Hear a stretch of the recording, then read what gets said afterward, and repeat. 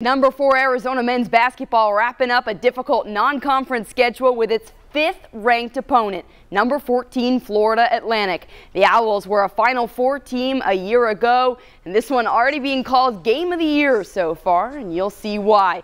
It was all Arizona to start. KJ Lewis Tapella Pelle Larsson he drives inside his shot smooth as butter. Wildcats up 19 to 5 early, but the Owls started to take flight just a six-point game at the half.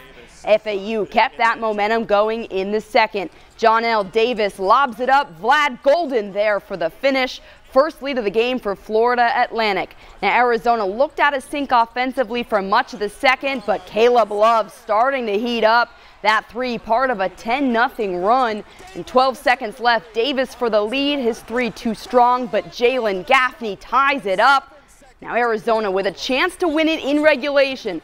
Boswell fadeaway jumper is short. We're going to overtime, tied at 73. Now the Owls regain the lead with this Alijah Martin catch and shoot three. So time winding down. And who else but Caleb Love. He's showing up in these big moments with a three all the way from Henderson. Christmas came early, folks. A second overtime in Las Vegas, and it all came down to this. Wildcats down one with six seconds left. Love fires a three, but this time it is too strong. Arizona falls to FAU 96-95 in double overtime. The Owls' first top 10 win in program history. Certainly a disappointing one for the Cats. Two missed opportunities to win it. They dropped to 9 and 2 entering Pac 12 play.